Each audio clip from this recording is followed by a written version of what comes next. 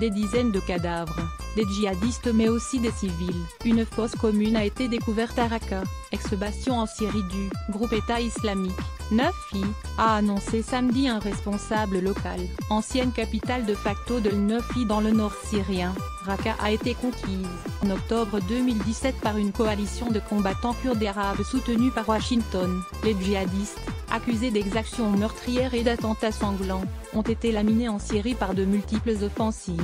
Près de 50 corps ont déjà été retirés du charnier, qui contiendait au total entre 150 et 200 dépouilles, des civils, mais aussi des djihadistes, indique Abdallah Al-Erian, un haut responsable du conseil civil de Raqqa, qui administre la ville. La fosse commune se trouve sous un terrain de foot tout près d'un hôpital où les djihadistes s'étaient retranchés avant de perdre la bataille de Raqqa.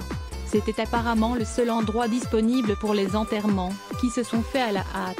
Les djihadistes étaient retranchés dans l'hôpital.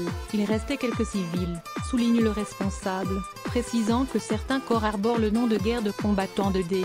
Les civils sont simplement marqués d'un prénom. Des charniers découverts en Syrie et en Irak après une montée en puissance fulgurante en Irak et en Syrie et la conquête en 2014 de vastes territoires à cheval sur les deux pays, Neuf a été défait par les forces de Bagdad, tandis qu'en Syrie il est aujourd'hui acculé dans ses retranchements. Ces derniers mois, aussi bien en Syrie qu'en Irak, plusieurs charniers et fosses communes ont été découverts dans les anciens territoires tenus par les djihadistes. À la mi-février, l'armée syrienne a découvert une fosse commune contenant 34 cadavres de personnes exécutées par le groupe djihadiste, dans l'ouest de la province de Raqqa, une région contrôlée par les forces de Bachar el-Assad.